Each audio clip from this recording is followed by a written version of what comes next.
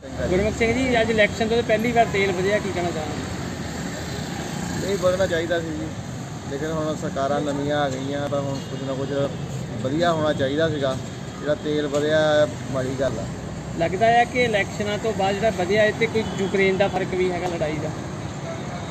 ਨਹੀਂ ਯੂਕਰੇਨ ਦਾ ਤਾਂ ਹਾਲੇ ਕੋਈ ਫ਼ਰਕ ਨਹੀਂ ਹੈਗਾ। ਕਹਿੰਦੇ ਹੈਗੇ ਵੈਸੇ ਕੋਈ ਫ਼ਰਕ ਲੱਗਦਾ ਨਹੀਂ ਹੈਗਾ ਅਜੇ ਜੇ ਹੈ ਤੇ ਦਿਨ ਪਰ ਸਿਲੰਡਰ ਵੀ ਵੱਧ ਗਿਆ। ਘਰ ਦਾ ਕਿੰਨਾ ਕੁ ਬਜਟ ਖਰਾਬ ਹੋਊਗਾ? ਬੜੇ ਬਹੁਤ ਜ਼ਿਆਦਾ ਖਰਾਬ ਆ ਜੀ। ਦੱਸ ਨਹੀਂ ਸਕਦੇ ਬਜਟ ਬਹੁਤ ਜ਼ਿਆਦਾ ਖਰਾਬ ਆ।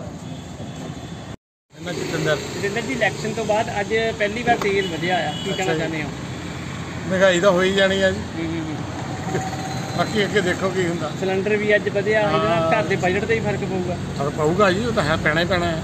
ਕੀ ਲੱਗਦਾ ਯਾਰ ਆਮ ਆਦਮੀ ਪਾਰਟੀ ਕਹਿ ਰਹੀ ਸੀ ਕਿ ਮਹਿੰਗਾਈ ਨਹੀਂ ਵਧਣ ਦਊਗੀ ਤੇਲ ਫਿਰ ਵੀ ਵੱਧ ਗਿਆ ਅੱਜ। ਦੇਖੋ ਹੁਣ ਕੀ ਕਰਦੇ ਆ ਹਾਲੇ ਤਾਂ ਸ਼ੁਰੂਆਤ ਹੀ ਹੋਈ ਆ। ਹੂੰ, ਹੂੰ, ਹੂੰ। ਬਾਅਦ ਚ ਪਤਾ ਲੱਗੂਗਾ ਮਹੀਨਾ ਦਾ ਪੰ- ਅਹ ਦੋ ਮਹੀਨੇ ਬਾਅਦ। ਆਸ ਹੈ ਆਮ ਆਦਮੀ ਆਸ ਹੈਗੀ ਤਾਂ ਬੜੀ ਆਸ ਹੈ ਸ਼ਾਇਦ ਫਿਰ ਅਜੇ ਕੁਮਾਰ ਭਾਜੀ। ਅਜੇ ਕੁਮਾਰ ਜੀ ਕਿਹੜੇ ਪੰਪ ਤੇ ਕੰਮ ਕਰਦੇ ਹੋ?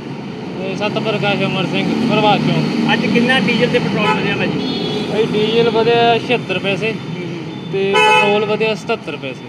ਕੀ ਗੱਲਾਂ ਜਿਹੜੇ ਲੋਕ ਤੇਲ ਪਵਾਉਣ ਆਉਂਦੇ ਆ ਕੀ ਕਹਿੰਦੇ ਆ? ਭਾਜੀ ਸਾਰਿਆਂ ਨੂੰ ਥੋੜਾ ਫ਼ਰਕ ਪੈਂਦਾ ਆ। ਹਰੇਕ ਬੰਦੇ ਦੇ ਲੋਡ ਪੈਂਦਾ ਆ ਅਮੀਰ ਤੇ ਵੀ ਤੇ ਗਰੀਬ ਤੇ ਵੀ। ਇਹ ਹਰੇਕ ਕੋਈ ਇਹੀ ਕਹਿੰਦਾ ਵੀ ਮਹਿੰਗਾ ਨਾ ਹੋਵੇ ਵੀ ਸਸਤਾ ਮਿਲੇ ਸਾਨੂੰ। ਕਿਉਂਕਿ ਆਵਾਜਾਈ ਹਰੇਕ ਬੰਦੇ ਨੇ ਹਰੇਕ ਬੰਦੇ ਨੂੰ ਲੋੜ ਹੈ ਡੇਲੀ ਦੀ ਲੋੜ ਹੈ ਇਹ। ਤਾਂ ਹਰੇਕ ਬੰਦੇ ਦੀ ਜ਼ਰੂਰਤ ਹੈ ਤਾਂ ਅਸੀਂ ਵੀ ਇਹੀ ਕਹਿੰਦੇ ਵੀ ਸਸਤਾ ਹੋ ਜਾਵੇ ਵੀ ਮਹਿੰਗਾ ਨਾ ਹੋਵੇ। ਕਿੰਨੇ ਕੁ ਦਿਨ ਬਾਅਦ ਵਧਿਆ ਇਹ? ਇਹ ਭਾਜੀ ਅੱਜ ਤੋਂ ਸਟਾਰਟਿੰਗ ਹੋਈ ਹੈ ਜੀ ਲੱਗਦਾ ਆਸ ਹੈਗੀ ਹੈ ਕਿ ਵਧੂਗਾ? ਤੇ ਅੱਜ ਜਾਣੀ ਘੱਟੋ ਘੱਟ ਮਹੀਨੇ ਦੋ ਮਹੀਨੇ ਬਾਅਦ ਅੱਜ ਵਧਿਆ ਪਹਿਲਾਂ ਉਹੀ ਸੇਮ ਰੇਟ ਹੀ ਸੀਗਾ ਹਾਂਜੀ We are a multicultural network community. We groom competent global citizens to effect positive change around them.